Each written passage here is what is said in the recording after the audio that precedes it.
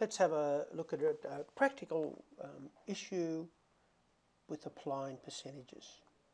Let's say in business you've purchased an item for $200 and you've decided that you want to apply a markup of 60%.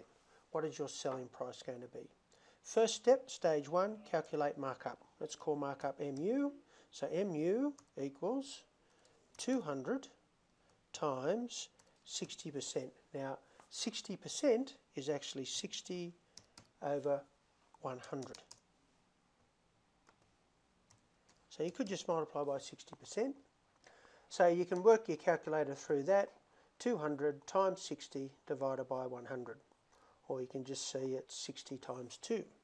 So markup will equal 120.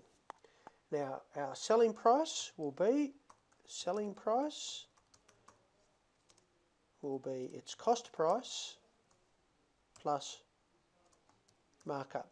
So selling price is going to be SP equals 200 plus 120 which equals 320.